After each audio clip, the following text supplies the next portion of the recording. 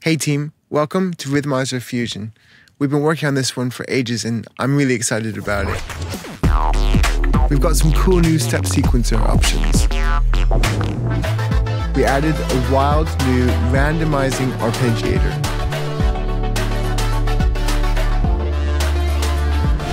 We've made it even more solid for real-time jamming.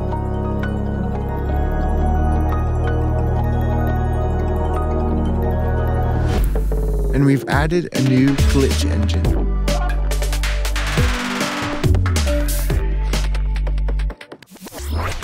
We've added some killer new features, kept the interface pretty clean, and we've also been honing in the randomness a little bit. So one thing that came up with Ultra, sometimes it could be almost too random, like it could be a bit too difficult to get actual usable results. So with Rhythmizer Fusion, we've worked on honing that in and making it more customizable, more musical, and a little bit more regular. Can't wait to show you guys.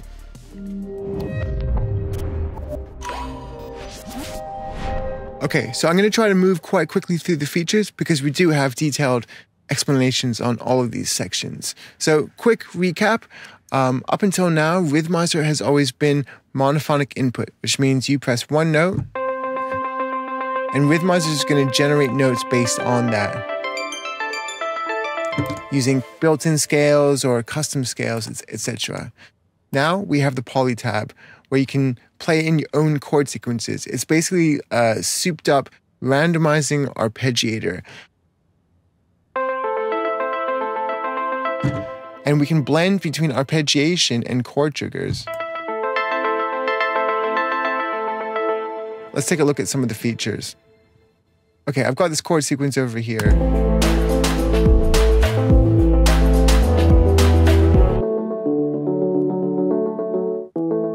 All right, let's start with the updated direction control. We can be random, we can be up, up and down, or just down, or we can dial in some randomness to either of those directions. So this is up with 25% randomness. We can extend up the keyboard. So it's deriving all of these notes just from our input triads. We can bring the chance down, which will be forcing just the lowest note of whatever chord sequence you're playing. So that could be like your bass line. And then we can introduce notes at random.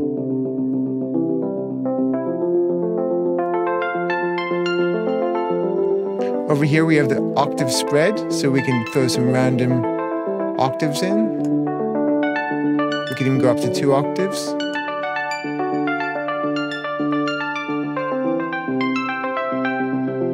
It simple for now. And you're probably wondering what this little crossfader is. That's our new fusion fader. So if I start moving that over, we're to start getting full chord sequences. And these are also extending upwards. Bring the chance knob down, and we're getting just the input basic chord. We can start introducing sort of movement there. And these also come up or down.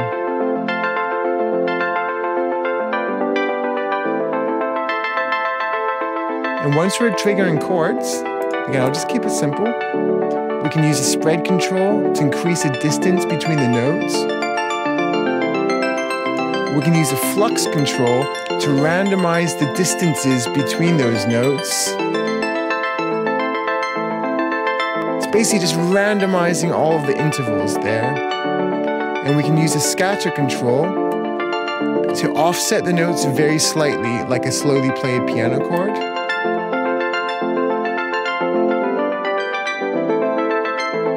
we can use the poly control to limit the amount of notes being triggered. So we can have a chord of just two notes. Now it's just two notes.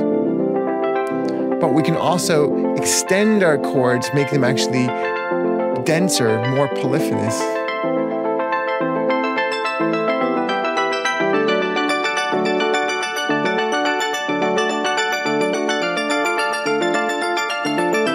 And we can get pretty extreme there.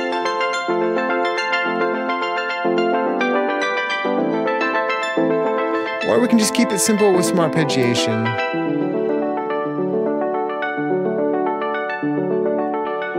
Bring in our other synth.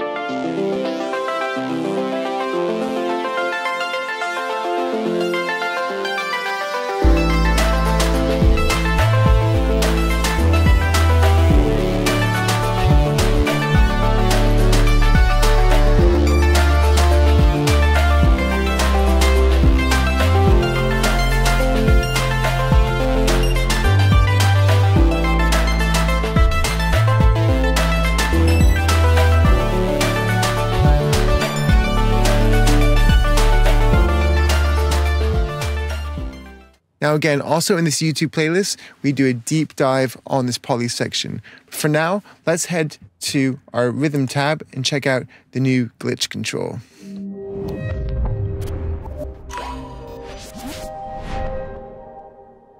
All right, next up, I want to show you the new glitch feature.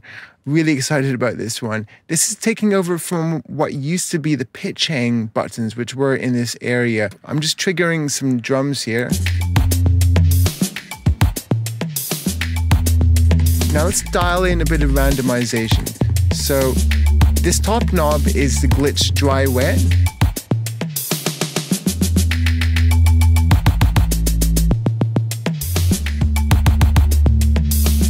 So now we're just getting occasional glitches. And the and the intensity is, is the actual intensity of the glitchiness. I'll turn the dry wet right up. You see, as I turn the intensity up, we're going to start getting 30 second notes, different kinds of repeats. And then we can bring that dry wet back down again. So the more occasional glitches.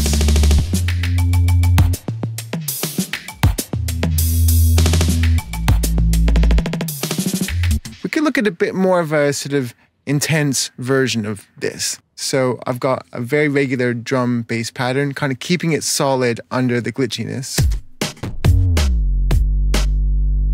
And then I've got my glitchy drum kit. I'm actually choosing between many different drum kits.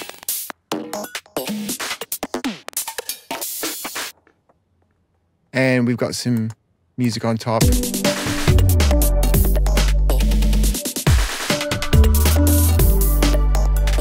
Let's take both the glitch controls and the loop knob for a ride.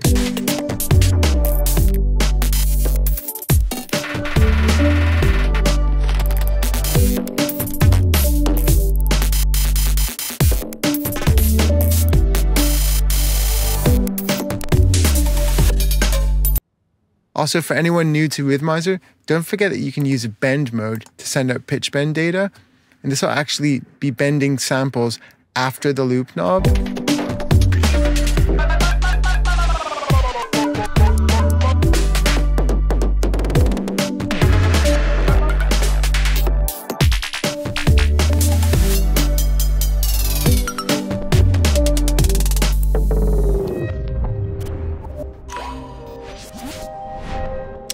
Okay, next up, I want to show you some cool changes we've made to the step sequencer. Now, you might remember this project from our previous videos.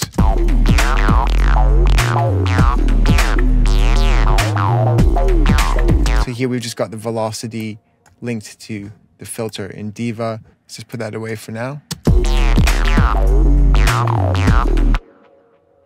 Now the first thing I want to point out is that individual steps on the step sequencer are now probability controlled. So you can just have them 100% full, or you can start bringing down the possibility that any step is going to happen at all.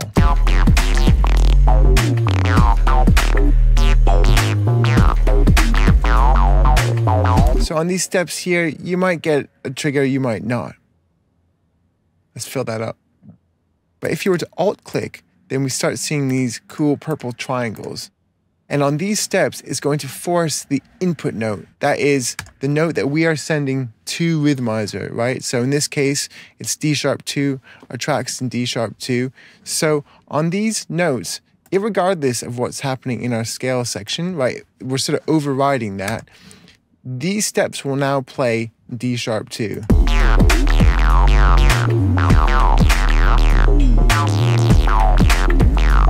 Go bring the gate down a little bit.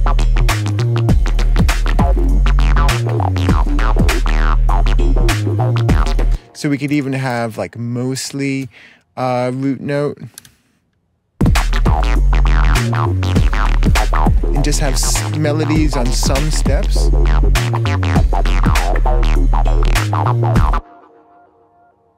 And we have another little trick here. So if you shift click on any step, what that's going to do is it's going to force this bass groove to happen, right? So if I was to turn up this groove knob here, that's going to mean we're going to get mostly eighths. I'll turn this up as well, so we'll get a mixture of eighths and, and 30 seconds. We won't be getting any of these, right? Because we've turned these up to like 100%.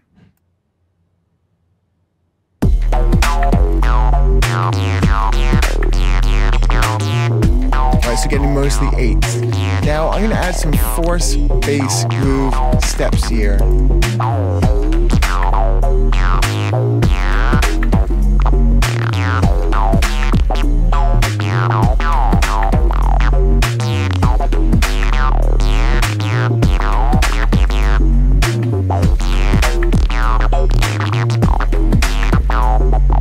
Now these blue steps are kind of anything steps. But we could, for instance, add some force input note steps here.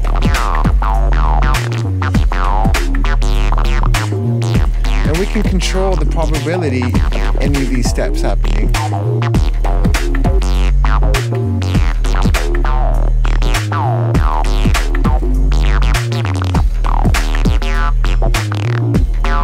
So we have that nice mixture now of randomness where you want it, but control on other steps where where you want to have more of like a repeating groove or a custom groove.